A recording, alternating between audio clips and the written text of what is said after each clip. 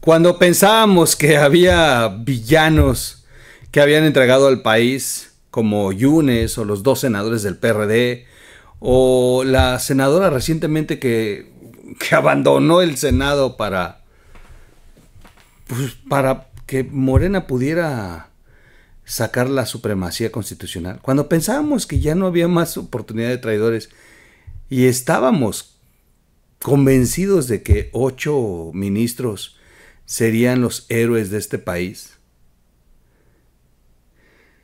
Qué, qué golpe brutal a la moral opositora principalmente de la sociedad. Un solo ministro cambió la historia de México. Alberto Pérez Dayán. ¿Traidor? ¿Lo podemos justificar?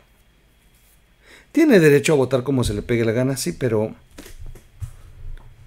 Pero está en un cargo donde las cuestiones personales no deben estar por encima del interés de la nación.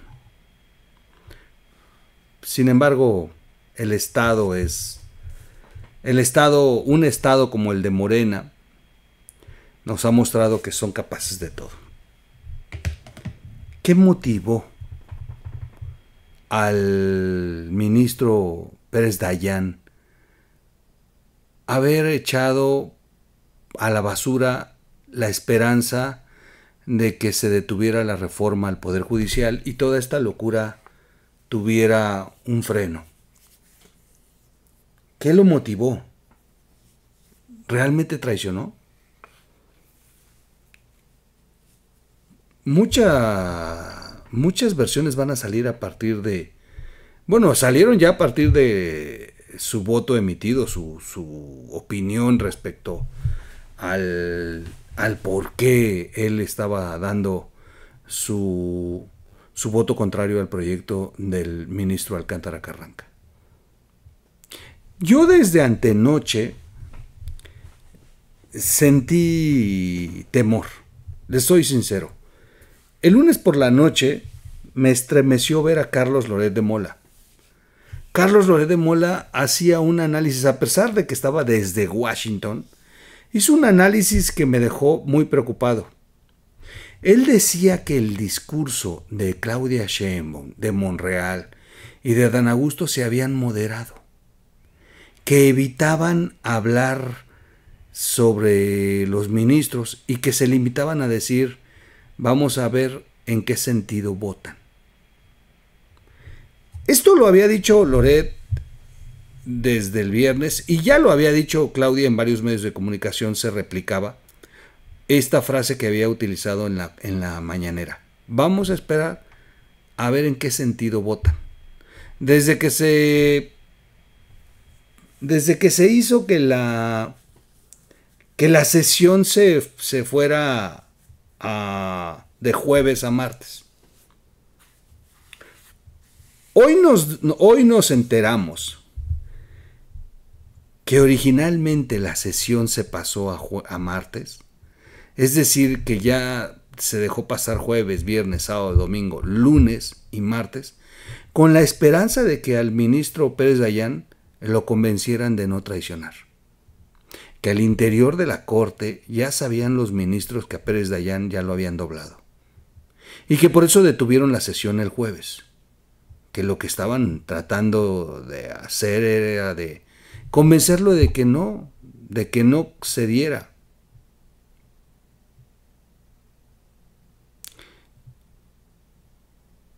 Hubo una cosa que mandaba un mensaje así. Norma Piña el día lunes dio un discurso agradeció a todos por su lucha.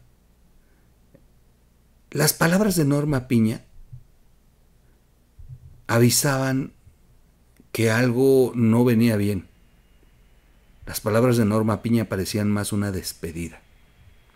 Insisto, en la noche del lunes, Carlos Loret dijo, la presidenta está manteniendo una postura como si ella supiera que el resultado en la corte le va a favorecer al oficialismo. Todos estos mensajes me comenzaron a, a llenar de dudas. Sin embargo, albergaba una esperanza, como muchos, de que al final los ocho ministros tuvieran el valor de, de votar por meterle un freno a esta locura que ha impuesto López Obrador, la reforma al Poder Judicial. Lamentablemente no fue así. El ministro Alberto Pérez Dayán votó junto a las tres brujas de la Corte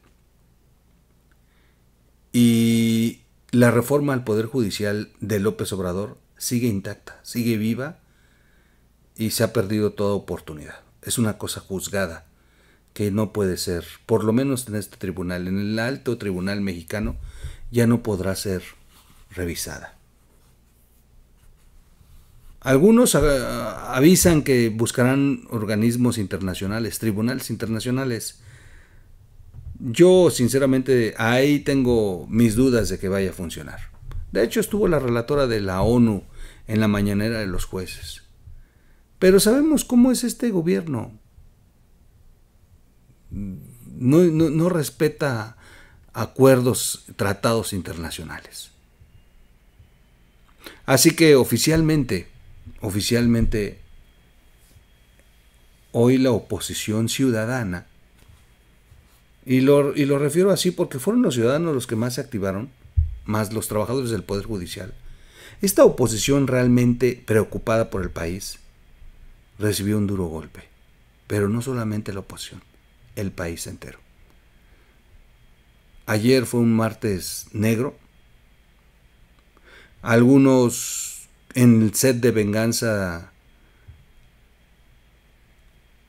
añoran la esperanza de que alguien haga venganza por esto que ocurrió. Y una vez más se comienza a generar una, una esperanza, perdón que lo repita tantas veces, pero así es, empiezan a albergar un sueño, el sueño de que alguien ponga en su lugar a Claudia Sheinbaum y a toda esta bola de barbajones. Y por la noche salió el, bueno, ya desde la tarde se, se veía venir, pero por la noche se confirmaba. Donald Trump ganaba, ganó la elección de Estados Unidos. Y esto avisoraba sin duda una oportunidad para conseguir justicia a través de la mano de Donald Trump. Y ahora existe la esperanza en toda esta oposición de que Donald Trump cumpla sus amenazas. Ahí también creo que nos gustaría a todos que Claudia Sheinbaum recibiera una lección, pero creo que tampoco podemos tener pensamientos tan negativos cuando no se va a tratar de Claudia Sheinbaum se va a tratar de los mexicanos, de los empresarios mexicanos, de los que generan trabajo, de los que generan empleo en México. Las amenazas de Donald Trump, si se cumplen, van a impactarle más al pueblo mexicano que a la propia Claudia Sheinbaum. Pero no podemos tampoco tirarnos a la decepción y al luto y a la a la resignación de que este país ya no tiene esperanza. No, no, no, no. Es, eh, es un buen momento para unirnos y para seguir luchando. Se perdió una batalla, pero no se ha perdido la, la, más, la, la más importante de las batallas, que es el, el de generar conciencia en el ciudadano y generar una oposición real que pueda, que pueda ir balanceándolo en este país con equilibrios reales y con una oposición que de verdad se enfrente al oficialismo. Sueña, suena a sueños guajiros y más en este momento. Pero las naciones han logrado esto. Digo, el caso de Venezuela y Cuba no es el único en donde ha habido dictadores que, que no han sido removidos o, derrumbados. Hay, hay oportunidades, sí, claro. Y, pero la, la fuerza real radica en el ciudadano. Y el ciudadano es el que debe de reaccionar, que ese es, creo, el verdadero problema. Ayer la Corte nos falló. Y con eso marcó el fin de una era y el nacimiento de una nueva de una nueva corte. Una corte a modo al oficialismo. Pero creo que el mexicano o el, el, el, mexicano opositor, el ciudadano verdaderamente preocupado por lo que pasa en, este país, no debió haber albergado toda su esperanza en este, en este proyecto. Y, y aunque era un momento de, de, definición en la historia de México, aún así no tenía por qué ser nuestro último, nuestro último remedio, nuestro último paso, nuestra última oportunidad. Todo lo contrario. Todo lo contrario. Los ciudadanos deben de mantener esta lucha. Pero bueno, ya lo platicaremos en otro podcast porque ya comienzan líderes de oposición a hacer el llamado a, a no derrumbarse. Y creo que eso es lo que debemos hacer, no derrumbarnos. Sin embargo, sí reconocer errores y aprender de las lecciones. Porque regresando de, esta pequeña pausa, le voy a leer un análisis bastante interesante de Salvador Soto, en el que marca cómo Alberto Pérez Dayán ya había traicionado antes a, al interés ciudadano y que además sí tiene cola que le pisen y que era obvio que Morena no iba a desperdiciar esta oportunidad. Así que también ha sido un error en los ciudadanos creer que los ocho eran puros y que no se iban a, a doblar. Son seres humanos y muchos de ellos tienen sus demonios y sus pasados. Y muchos de ellos iban a, a recibir esa presión al grado de doblarlos. Así que esa es una gran lección para no albergar esperanzas en quienes no nos van a poder responder por el pasado, por o por todo lo que tengan eh, pendiente o frente a ellos como una amenaza. Regreso de inmediato y platicamos. Por lo pronto, en esta editorial quede, quede inscrito como uno de los villanos, no, los nuevos villanos de este país, al ministro Alberto Pérez Dayán, quien traicionó a México. No a sus ocho compañeros, no a sus siete compañeros, no, a México. Quien sucumbió ante la presión, antepuso su interés personal por encima de el interés colectivo. Cuando él juró, juró en la Constitución que sería un vigilante y un garante de los derechos de los ciudadanos en este país. Y finalmente lo único que le dieron fue argumento a la 4T. Porque cuando señalan la corrupción de los jueces, lo coludidos, sus eh, antecedentes y todas estas cosas, bueno, Alberto Pérez Dayán forma parte de esto. Y nos cegamos antes ante la esperanza de que hubiera, hubiera ido en favor y al lado de sus compañeros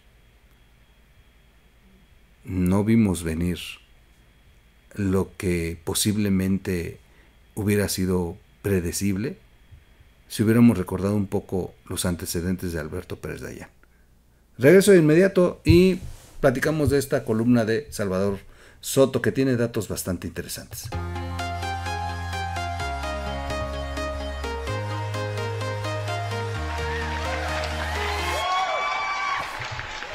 ¿Cómo están amigos? ¿Cómo están? Excelente miércoles. Hoy, hoy sí no puedo ponerles así como que como que, ay, qué brutal y qué, qué, felicidad. No, pues está cañón. Está complicado lo que le está pasando en nuestro país y qué interesante se está poniendo porque pues el triunfo de Donald Trump puede ser un elemento que le va a poner todavía más más eh, más desorden a este país. Y finalmente también puede terminar siendo un nuevo un nuevo pretexto para para recargar nuestra esperanza en alguien que nos venga a resolver nuestros problemas, cuando debería de ser todo lo contrario. Bienvenidos todos, eh, vamos a, platicar de esta columna de Alberto Pérez Dayán, de Alberto Pérez Dayán, de Salvador Soto, en relación al, voto emitido por el ministro ayer, Pérez Dayán. Pérez Dayán, traición, traidor o congruente. Bueno, no hay quien diga congruente. A lo mejor en la 4T sí han de decir que fue muy congruente. Una columna de Salvador García Soto que, que hoy escojo para, para, pues para haber hecho esta editorial y para, para datos que son importantes. Perdón, ¿eh? Ahí. Creo que no sé si son los, los pelos de mi gato, que yo tengo gato nuevo. Me acabo de limpiar, estaba de verdad batido de, de pelos. Se subió aquí. O si es el clima. Pérez Traidor, le fallaste a la nación. Así gritaban ayer los miles de trabajadores del Poder Judicial de la Federación y los miles de ciudadanos que se, que se agolpaban afuera de la sede de la Suprema Corte de Justicia de la Nación, esperando que la mayoría de los ministros, los ocho, invalidaran la reforma judicial, aprobando este proyecto que había publicado la corte del ministro eh, Alcántara Carranca y que establecía una suspensión parcial, una, ah, una oportunidad para poder mediar entre esta guerra que existe entre el oficialismo y el Poder Judicial. No fue así, no fue así. El milagro nunca llegó, dice García Soto. El milagro nunca llegó y en su lugar el cambio repentino del ministro Alberto Pérez Dayán, que se apartó del resto de sus compañeros que habían puesto en duda la constitucionalidad de esta controvertida reforma, le dio el triunfo al nuevo modelo del Poder Judicial impulsado por López Obrador y Claudia Sheinbaum. La votación final fue 7 contra 4 con la que se desestimaron las acciones de inconstitucionalidad que habían promovido los partidos de oposición PRI-PAN y se dejó en firme la constitucionalidad de los nuevos jueces, magistrados y ministros que serán electos por el voto popular. Terminó siendo la última derrota de la Suprema Corte y el Poder Judicial independiente que dará paso al Poder Judicial a modo de la 4T.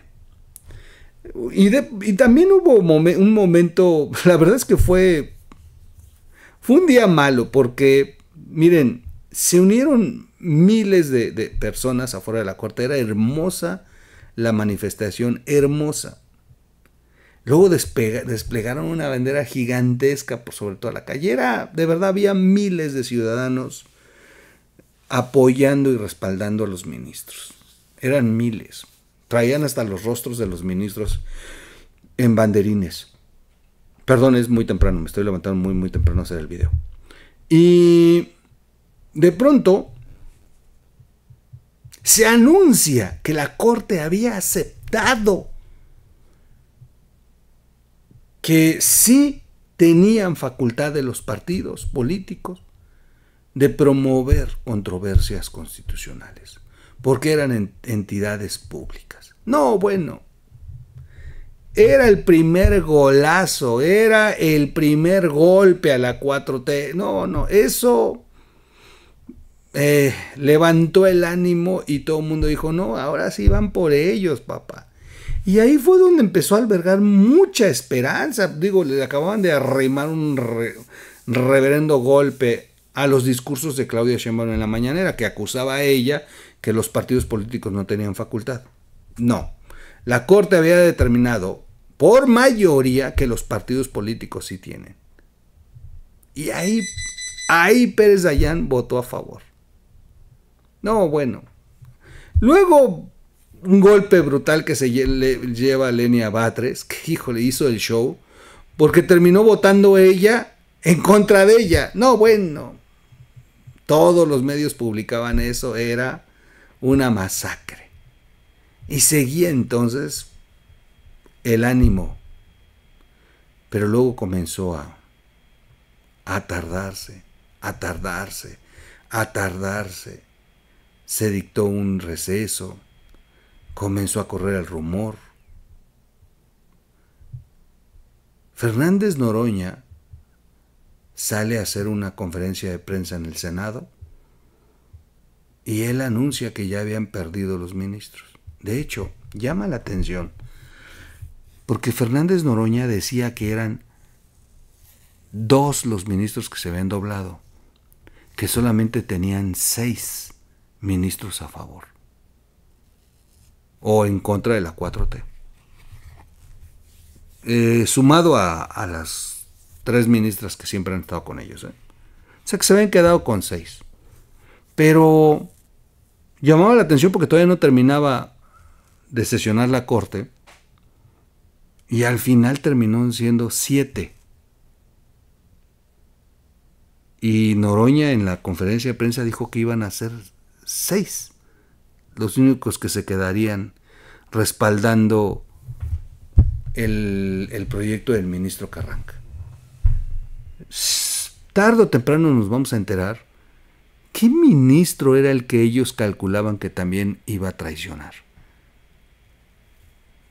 Hay rumores de que, pero no, no, no, no es oficial y no están muy sustentados. Pero tarde o temprano se va a saber. Porque llama, llamó mucho la atención que Noroña anunciara que eran seis. Y bueno, finalmente se dio el resultado. Más tarde, mucho más tarde, se emitía ya esta, esta mala noticia.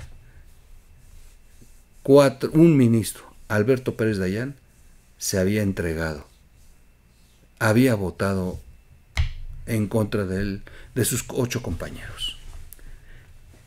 La, enardecida multitud que estaba afuera había recibido como un balde de agua fría la noticia de que se había roto la mayoría que podía frenar al menos una parte sustancial de la reforma morenista. No paraba de gritar la palabra traidor en contra del ministro Pérez Dayán. De hecho, se hicieron hasta hashtags a quien le exigían que saliera a dar la cara y explicar por qué cambió su posición original a favor de revisar la constitucionalidad del nuevo modelo judicial. Sí, le gritaban, da la cara, sal, da la cara. Pero el ministro se salió por la puerta trasera del edificio y se encontró algunos reporteros que lo cuestionaron sobre el sentido de su voto y la manera en que convalidó al final esta reforma de López Obrador. Dijo él que actuó de manera congruente. Eso dijo el ministro, que actuó de manera congruente con otras sentencias que él mismo dio como ministro. Dijo textualmente, simplemente decidí, de acuerdo con lo que he expresado en precedentes. No existe denuncia ni carpeta de investigación en mi contra. O sea, ya estaba dando explicaciones. Eso es falso, respondió Pérez Dayán ante las versiones que circularon durante toda la tarde de ayer en el sentido de que fue amenazado, presionado y convencido por operadores de Morena, incluso con amenazas judiciales contra él y de su familia.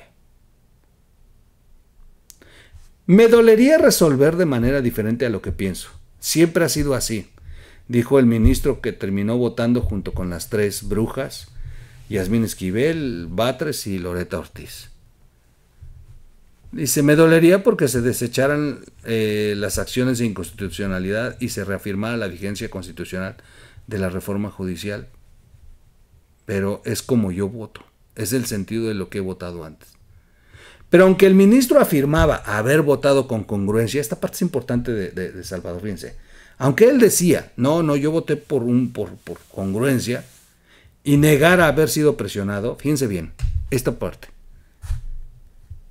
Él negó que fue presionado, pero dice Salvador García que al interior de la Corte al menos dos ministros consultados por el propio Salvador. Afirmaron que sí hubo presiones contra varios de ellos. Y en particular en el caso de Pérez Dayán, confirmaron que fue Adán Augusto López, el líder de Morena en el Senado, quien estuvo buscando a varios integrantes de la Corte pidiéndoles que reflexionaran bien su voto, en un tono de amenazas.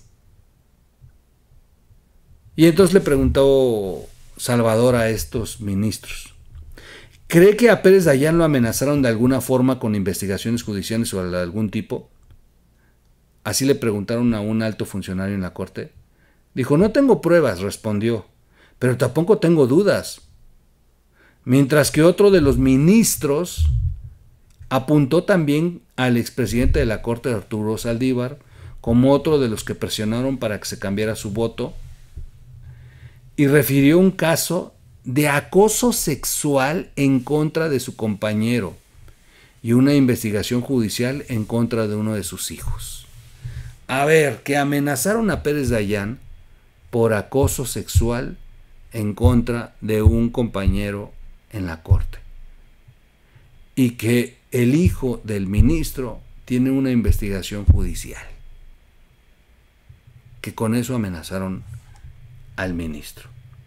En todo caso, nos recordó también uno de los ministros consultados, no fue la primera, esta parte es importante, no es, no es la primera vez que Pérez Dayán nos sorprendía con cambios repentinos en sus votos, cuando antes había expresado posiciones distintas y refirió que en la, en la, sentencia que emitió la Corte sobre la reelección del presidente del Tribunal Superior de Justicia de Morelos, Luis Jorge Gamboa Olea, que fue controvertida por la Comisión de Derechos Humanos morelense, el voto del ministro Pérez Dayán también fue el que impidió que se declarara inconstitucional esa reelección autorizada por el Congreso local, que le regaló dos años más en el cargo al magistrado Gamboa Olea.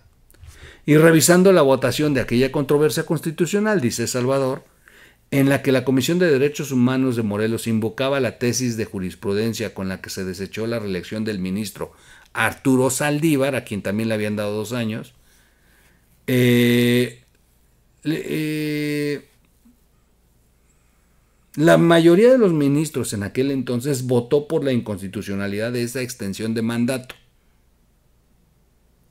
Resulta que Pérez Dayan, el ministro traicionero, quien también se había expresado en contra de la elección de ampliar el, periodo de dos años, o sea, primero dijo, sí, no, no, no debería ser, ¿verdad? Bueno, resulta que al final, a la hora de votar, extrañamente cambió el sentido de su voto y al igual que ayer, se unió a las ministras a las tres brujas para romper la mayoría y permitir que se le extendiera el mandato a ese ministro, este, a ese magistrado morelense del, hasta, el, hasta mayo del 2026. O sea que ya, es la, que ya ha habido casos en los que Pérez Dayán termina beneficiando a actores controvertidos y termina votando junto con las otras tres ministras. ¿Será entonces que el ministro Pérez Dayán ya lo traían bien tripulado desde la 4T? Y aunque guardaba las apariencias, ya tenía arreglos y entendimientos con Saldívar o con, o con Adán Augusto. Todo indica que sí. Al menos eso piensan sus propios compañeros de la corte. O sea que los ministros están convencidos que sí fueron esas las causas por las que se fue en contra y que por eso Trataron de convencerlo, trataron de mediar y por eso se mandó la sesión hasta el día martes a ver si lograban. Finalmente no lo lograron convencer y ahí está el resultado de ayer. Muchos mexicanos están convencidos de que Alberto Pérez de Allán traicionó. Yo también, sin duda. Eh,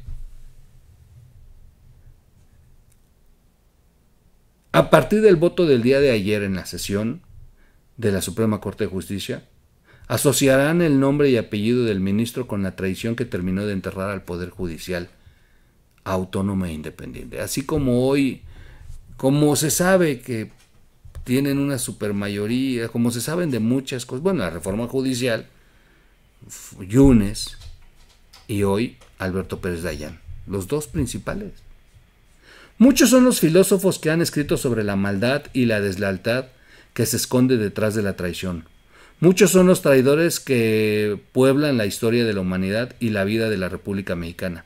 Ayer un nombre más se añadió a esa lista de, de esa lista de traidores, quienes por conveniencia, amenaza o cobardía le dieron la espalda a sus valores y convicciones para salvar su pellejo. Y por más que se quiera disfrazar de congruencia, la peste y hediondez siempre perseguirán a los traidores.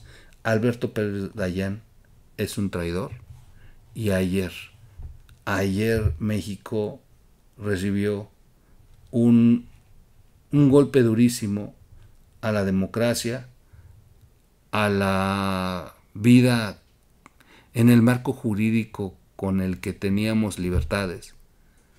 Y, estos hombres que van de pasada, que han eh, logrado acuerdos, bueno, serán testigos de cómo miles de mexicanos van a sufrir por el nuevo modelo judicial que se quiere imponer en este país, que es un modelo judicial que cada vez se parece más al que tienen en Cuba o en Venezuela. Yo ahí lo dejo, bastante, bastante enriquecedora esta columna que nos da estos datos y que aunque todos sabemos desde ayer que traicionó, teníamos que saber cuáles eran las causas. Una una denuncia por acoso sexual y una denuncia, una carpeta de investigación que tiene uno de sus hijos. Esa fue la razón y, y creo que lo hubiera podido evitar el ministro si hubiera tenido los pantalones. Porque al final de cuentas, haber mantenido el Poder Judicial como está hasta antes de que se apliquen todas estas reformas de Morena, hasta antes de que cambien a los jueces, ministros, por todos estos que van a ser elegidos por voto popular, hoy hay más garantía de que tengan, si existe la carpeta de investigación en contra de él y de su hijo, no, de su hijo sí, pero si existe inclusive esta denuncia de acoso del, ministro, hoy hay más posibilidad de que tengan un, juicio tanto él y su hijo, un juicio justo que el día de mañana. Porque el día de mañana, el día de mañana en una de esas, el traicionado va a ser él. Y el día de mañana la 4T ya no lo va a necesitar y no le va a importar pasar por encima de él. Aguas, porque peligra más habiendo permitido que la 4T se saliera con la suya. En fin, soy su amigo Miguel Quintana, el troll. Vamos a recordar siempre a este infame. Gracias a todos, nos vemos en un siguiente video y y la verdad no son buenas noticias, pero bueno, también hay que hablar, también hay que hablar de eso, de lo malo y lo bueno. Pasaron muchas cosas, pero miren, no tiene caso que ya las ponga. Yo tenía una selección de videos de cómo fue, cuando salió el otro ministro a hablar y no tiene ya caso, o sea, hay que ir a a hurgar cuáles fueron las causas de esta traición. Por lo pronto, por lo pronto ya tenemos esta esta versión que nos da un periodista, un periodista de más serio, Salvador García Soto.